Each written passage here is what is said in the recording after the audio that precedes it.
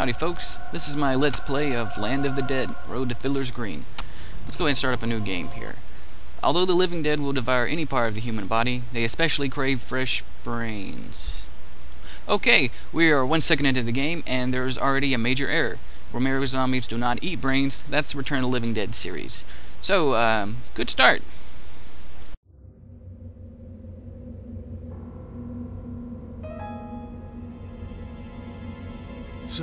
You want to know how I got here? Yeah, I'll, tell you my story. It all started like this. I just finished feeding the hogs when the power went out. That happens from time to time out here in the country. I tried calling the electric company, but the lines were dead.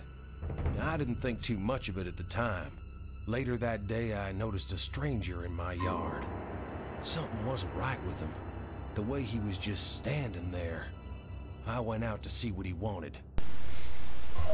Okay, um, Land of the Dead, Road to Fiddler's Green. In this game we play uh, Farmer Jack, uh, who apparently has a fear of people loitering in his yard.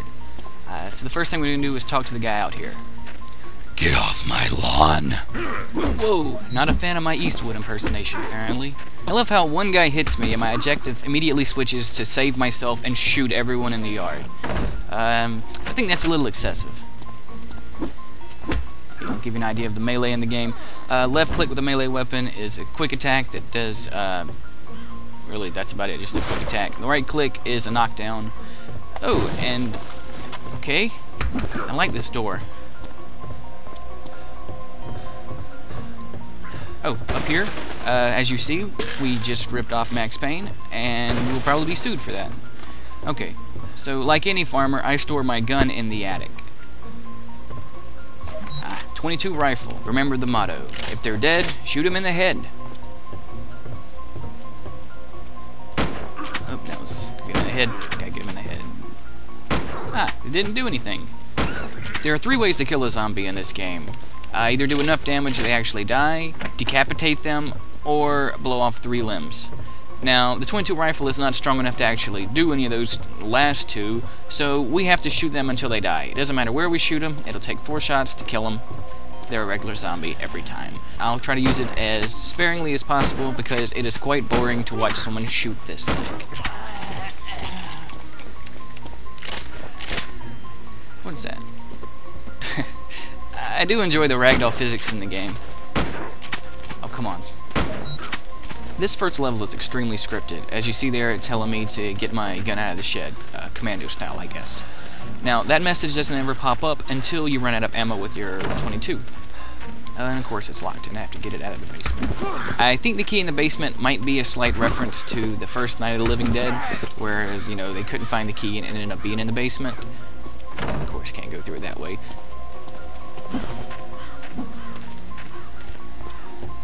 I just hope I don't run into a little girl with a garden trowel. Nope, nope. Well, that was anticlimactic. Let me just waste this giant health kit and find the key. Yeah. Why is it in there? No crap. That was a bad door to open. Oh, don't bite me. I'll take care of you in a second. And Jack's heart just blew a valve. Uh, yes, you can't sprint more than 20 feet in this game. Okay, time for some new weapons.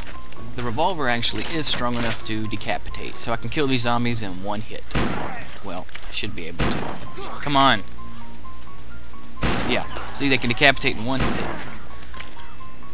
Come on. Okay, last chance. I'm gonna prove it.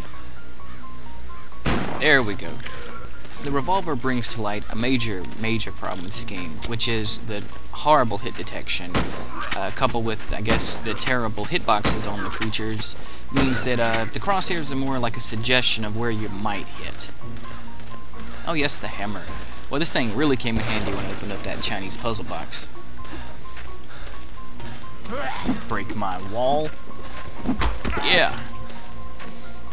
Uh, the hammer actually is quite quite a terrible weapon. Come here, you pighead. Uh, however, unlike the uh, fist, it actually is strong enough to kill a zombie. Uh, there's a video on YouTube where I might, I think I'll, I'll, try to link to it, where somebody used their fist and killed a zombie on easy in about two and a half minutes using just the fists. So yeah, fists aren't for killing.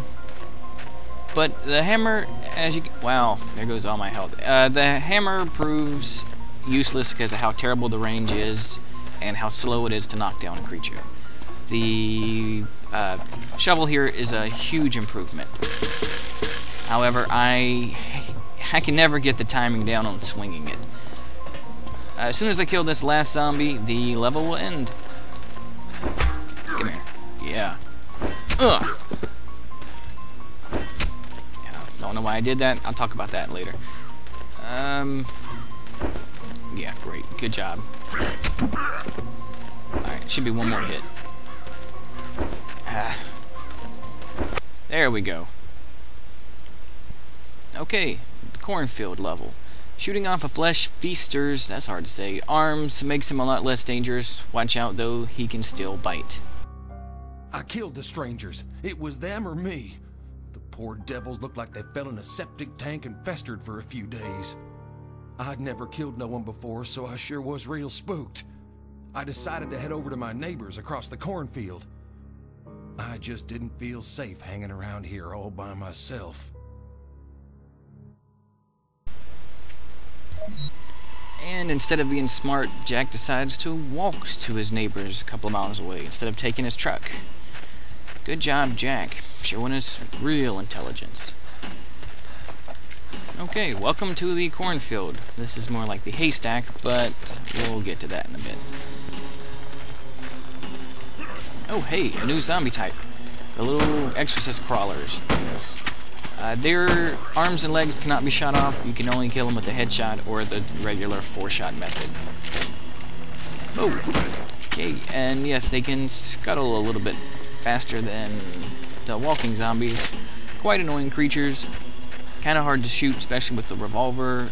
I try not to get in melee range with them because it's just they'll they'll kill you pretty easily.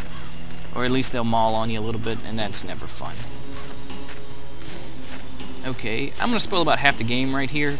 Any zombie that's in this prone position can get up and bite you, unless there's flies flying around. Gotta make sure, though.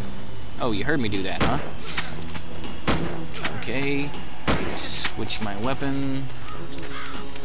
Oh, that brings us to another problem with the game if you run out of ammo and try to switch your weapons, you won't immediately switch your weapon. You will reload first and then switch afterwards. So that can get you killed. That is a very, very stupid bug. I don't know why I always look back there. There's never anything. The only thing of value is over here, and it's usually just useless stuff. Oh, wow. That was helpful. Fantastic.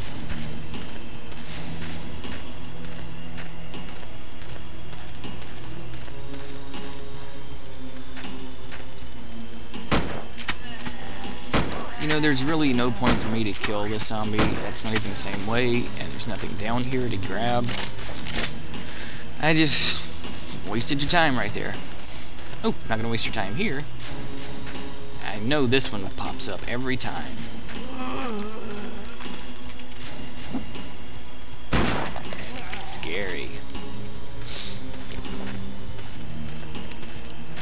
Oh, here's a staple of every first-person shooter ever, an exploding barrel.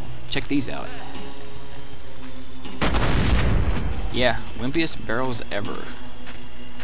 But you gotta have them in a first-person shooter. Should be red, though.